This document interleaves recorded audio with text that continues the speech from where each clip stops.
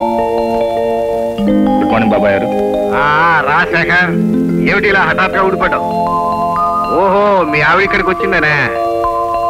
అమ్మా లక్ష్మి మీ ఆయన వచ్చాడమ్మా. ఎందుకంత కంగారు? ఏమిటో అనుకున్నాను. మీ ఆయనకి నువ్వు అంటే వాళ్ళ మళ్ళీ ప్రేమ. అందుకే క్షణం కూడా నిన్ను వదిలిపెట్టి ఉండేట్లేడు. ఉండతయ్యా బాగున్నావు బాబు? బాగున్నాను మీరంతా బాగున్నారు కదా? ఆ. చూడు లక్ష్మి ఆఫీస్ నుంచి చిన్నగా ఇంటికి వెళ్ళాను. నువ్వు ఇక్కడ ఉన్నావు అని చెప్పారు సరాసరి వచ్చి అది కదండి అతనితో పాటు అమ్మవారి గుడికి వెళ్ళాను. అటు నుంచి ఇలా వచ్చాడు ఆ, నువ్వు ఇక్కడికి వచ్చావు కాబట్టి మీ ఆయన నిన్ను వెతుకుంటూ వచ్చాడమ్మా. అసలు మేము ఈ ఊళ్ళో ఉన్నట్టు మీ ఆయన గుర్తుందా అని. అదేమిటి మావయ్య మీ దంపతులంటే ఆయనకి ఎంత అభిమానమో. మీ ఆయన్ని బాగానే వెనకేసుకొస్తున్నావు గానీ మా మీద అభిమానం ఉందని రుజువు చేసుకోవాలనుకుంటే మీరిద్దరు ఇప్పుడు ఇక్కడే ఫోన్ చేయాలి మనలో మనకే మర్యాదలు ఎందుకు పిన్ని గారు. ఎందుకేమిటయ్యా? నీకా తీరికే చిక్కదు. మాకేమో ఉన్న ఒక్కనొక్క కొడుకు విదేశాలకు పై చదువుకని వెళ్ళి అక్కడే సెటిల్ అయిపోయాడు. మీరు ఇంటికి వచ్చినప్పుడేగా ఇల్లు కలకల్లాడేది? మాకు మాత్రం మీరు తప్ప ఎవరు ఉన్నారు చెప్పు. నైస్ నైస్ గర్ల్ ఏంటి ఏమైంది?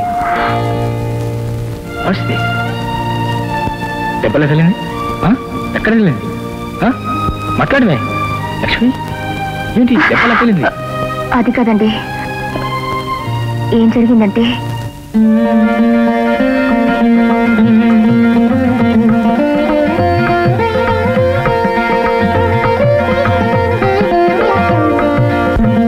నీకు నిజంగా మతిపోయిన లక్ష్మి.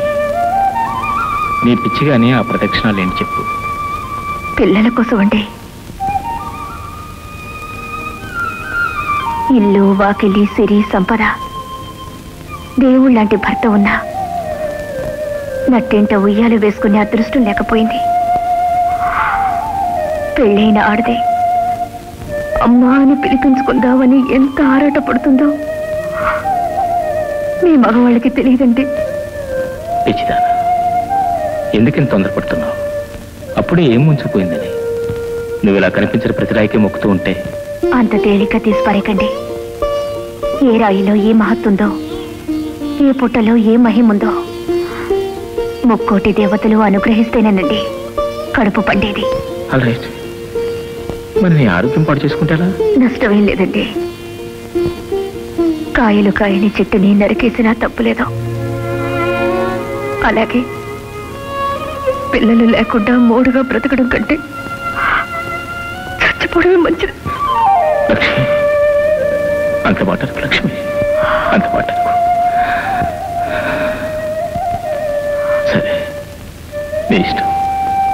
నీ సెట్ చేసుకో. కానీ నీ ఆరోగ్యం మాత్రం పాడు చేసుకో ప్లీజ్. నువ్వు లేకపోతే బ్రతకలేను లక్ష్మి. నువ్వు లేకపోతే బ్రతకలేను. వరం. అలివేలు అలివేలు ఎక్కడా మీరంతా? అచ్చోసిన ఆంబోతులో ఏమిటి అరుపులు? అందరూ ఇక్కడే తెచ్చాం చీకట్లో కూడా నీ మొహం ఎలక్ట్రిక్ బల్బులా వెలిగిపోతుంది. నీ సరసం సంతకెళ్ళా? చీకట్లో ఏమిటయ్యా? చిందులాట? చీకట్లోనే చిందులాడాలి సంతలోనే సరసవడాలి ఇలా దగ్గరికి వచ్చి చాలేవయ్యా? వెళ్ళేటప్పుడు ఫీజు తీసుకెళ్తాం. నువ్వు వచ్చేంత వరకు మేము చీకట్లోనే ఉండాలని తెలిసి కూడా ఎందుకు ఇంత ఆలస్యం చేశాం అంటే నువ్వు ఇంట్లో లేకపోతే మాకు లైట్లు ఫైల్ అక్కర్లేదు అక్కర్లేదే? ఇంట్లో సంపాదించేది నేను. సుఖపడాల్సింది కూడా నేనే. వచ్చాను కనుక ఫీజు వేస్తాను అక్కడే నిలబడి. ఎవరది? నేనన్నా మీ పక్కన వెధ కూర్చున్నట్టున్నాడు? బొమ్మ నాన్న. ఆ ఏళ్ళాడు శనిగాడేమో ఈ అనుకున్నాను అనుమానం తట్టుబడులు గాను అల్లుడు ఇంట్లో లేడయ్యా. ఏడు వదిలిపోయి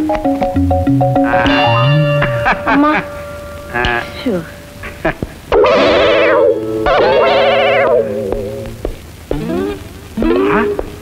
ఊపు లైట్లు ఫ్యాన్లు ఏవే? ప్రశ్న అడుగుతుంటే గుళ్ళో ఉత్సవకాలలో నిలబడతారని సమాధానం చెప్పండి. భయపడతావు ఎందుకమ్మా? చెప్పు. మరేమో నాన్న ఆ. లైట్లు వెలగడానికి ఫ్యాన్లు తిరగడానికి కదా ఉన్నది. అవి వెలగినప్పుడు తిరగనప్పుడు ఎందుకు అని? ఆ, ఎందుకని? నీ అల్లుడు గారు అవన్నీ బజారు తీసుకెళ్ళి అమ్మేశారు నాన్న. నా ఫ్యాన్లు లైట్లు అమ్మడానికి వాడికి ఎన్ని గుండెలు? ఒకటేనన్నా అది కూడా నాకు ఇచ్చేసానని మరీ మరీ చెప్పారు. చెప్తాడే చెప్తాడు. అసలు ఇవన్నీ తీసి అమ్మేస్తుంటే నువ్వు చూస్తే ఎలా ఊరుకున్నావు? మొదలు చూద్దానా ఆ వెలగని లైట్లు తిరగని ఫ్యాన్లు ఎందుకు? అమ్మా అత్త అల్లుడు ఏకమై నా కొంపకే సట్టేశారనమాట ఏం చేస్తావు? ఆయన మాటల్లోనే వచ్చారు. నూరే లైట్స్ దీర్ఘ సుమంగళి భవ. ఏమిట్రా? నా ట్యూబ్ లైట్ ఫ్యాన్లో ఏం చేసావు జస్ట్ అమ్మేశాను. ఈ పోలీసు వాడు ఆస్తి కొనుక్కునే దౌర్భాగ్యం ఎవడరా? నీకంటే దౌర్భాగ్యుడే కానీ పేరు చెప్పను. చెప్పవు చెప్పవు? చెప్పను. చెప్పకపోతే నేను నీ ఆవేశం రామేశ్వరం కల్లా ఇన్నాళ్ళు ఉద్యోగం చేసి ఎస్ఐ కాలేకపోయావు. ఇప్పుడు అల్లుని హత్య చేసి జైలుకి వెళ్తావా? వెళ్ళని చెప్పే ఇన్నాళ్ళు సెల్లుడు కొట్టి కొట్టి చేతులు ఎప్పుడుంటాయి అక్కడైతే రాలేని కొడతా చెప్పావు బాబు. పీడ విరగడైపోతుంది. అవునా అదే మంచిది. మీ ముగ్గురు ఒకటైపోయారా? ఇంతకాలం నేను పెట్టిన గడ్డి తింటూ చూలు కుక్కల ఇంట్లో తిరిగేవాడివి? నన్ను జైలుకి పంపిస్తానని ఇంత మొనగడైపోయావు అన్నమాట.